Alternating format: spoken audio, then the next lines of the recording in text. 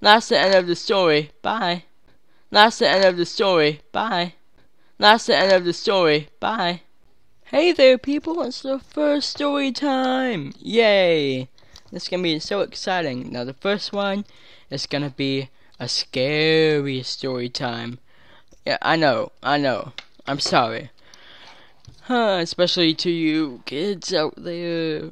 Uh, the little kids. The five year old kids. Click off the video.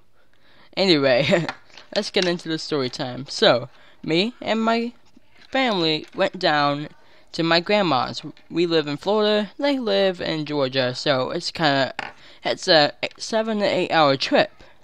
So we went down there, had fun, fast for there about two weeks. Fast forward to the last day we were there, and we were leaving that day.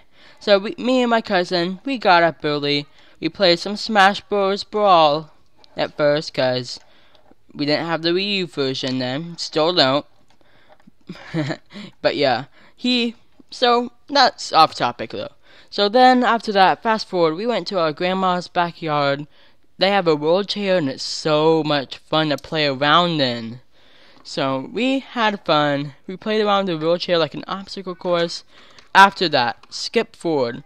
So there's we went there's a forest kind of area behind uh my grandma's house, not like directly behind, but you go around and it's a wood area with a bunch of sticks. So me and my cousin decided to walk down to that area.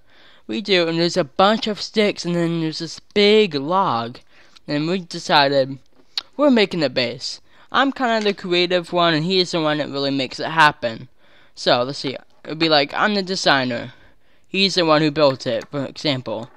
So he was building it. We had an entrance, and then we decided like we want when I told him about nails and the planks that were there, we are like, we want to make that. It got frustrating. Fast forward to after a while, there, and here I'll mention. You'll see it in like a drawing. So, we were in the draw in the draw. you'll see. Anyway, so we were by the wood area, and there's a fence that was crushed by a tree, and it's kind of like half of the fence is smushed down by the tree yeah, so we later, that's off topic. Right now, we were building the thing. Got frustrating. My brother and my little sister were there. They're both, uh, you know, not as old as me. One is four and one is seven. So we were over there having fun, and then all of a sudden, me and my, well, me, I at first started hearing music, like the music from the other side. And it wasn't where uh, the house was, because there was a house right next to it. It was coming from the forest area, and I could see there's no houses near there. So I was a little, like, weirded out, and the music kind of drew me to it. So I got up onto the tree thing and kind of looked over to see if anything was there. Now, my cousin thought I was crazy. Looking back at it, I was, I think that was a little crazy too. But either way, I was like really drawn to it. But I would not make. I'm I'm a smart person. If I see, I'm telling you, if you're a stranger and we're getting chased by someone with a knife and I don't know you, I am gonna trip you and run.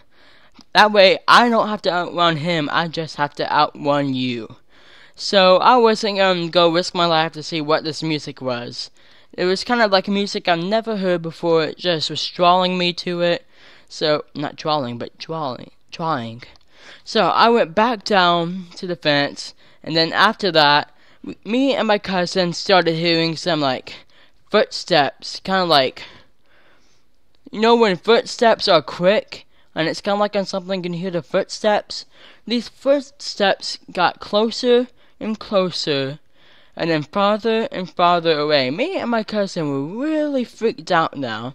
So we got our my brother and my sister back to the house, so if we had to run from anything, we wouldn't have to worry about them. But we had hammers, by the way, because we were working, you know, on the screws and all. So we were prepared, and on our way back, we were talking about, you know, demons and talking about how, like, which side of the hammer was better if someone were to chase us, etc. And it's pretty obvious that the flat one's pretty good because it like smashes stuff in. But the other one, yeah, the other one wasn't as good as the other. So we go back, and when we go back, we got even an even worse feeling. So it got close. It was the same pattern: closer, farther, closer, and farther. So I decided to go closer to the fence. My cousin just backed up to where, like, behind a big tree. Not, well, not behind a big tree, but it was like maybe six feet far away from me. And it got extremely close that it felt like it was right, like, about five feet away from the other fence, so I backed up too. And then after that, it got creepy. Ugh. It kept on going and going. Me and him kept on backing towards the fence and backing away from the fence. Alright, now, at one point, we went up to the fence, and then I, and you wouldn't believe what I saw. I saw, I heard a noise, and then I saw two squirrels running up the, a tall tree. I felt so relieved. Okay, but for real, I did see two squirrels crawl up a tree, and I felt so relieved. But then that instant relief went away because I was looking up right, and my cousin was looking down to the left, and he saw. Well, he said that he saw a black cat-like figure with no face at all. And I'm like, well, maybe it's just a cat. He started describing it with no face, nothing to it. It looked like a cat, and I'm like, it still got creepy, and we still felt like we were being watched. So we kept on doing the same pattern, kept on going. We eventually, like, just worked on it, and if the sound ever, know, came back, we just back up.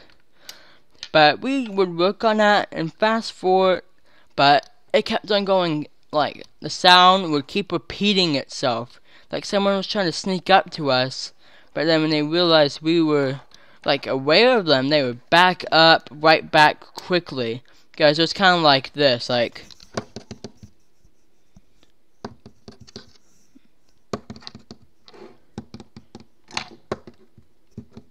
You got, as you can see, you got closer and farther and closer and further. It was just weird. So we, he said it was a black cat too, like a shadow, not really black, but shadowy like a shadow looking into it, like kind of like a shadow, like beam, kind of like it wasn't black, but it was like a faded shadow. So we got creeped out. Then at the end of the day, I asked, I jokingly said to my cousin, "Are you gonna wa- work on that thing while I'm gone?" Cause we did not get far at all, not at all. Cause our original plan was much better than our other plan and we just couldn't live with having to take down all our work and do it all again. So, fast forward to in the car trip. In the car trip, he and he said maybe he would work on it. So in the car trip, later, maybe about 30, 20 minutes later, asked my mom. I told my mom about the whole thing, and then the scariest thing happened. She said, "Oh, I was by an area like that and had the same feeling that you described. And I was like, okay, so it wasn't just me and my cousin. It wasn't me like influencing him to be scared. It was really something there. So my mom says she felt something like that. So that creeped me out. So I knew there was something there. She said she felt watched and she felt uneasy. So that's three of us that felt really bad in that general area.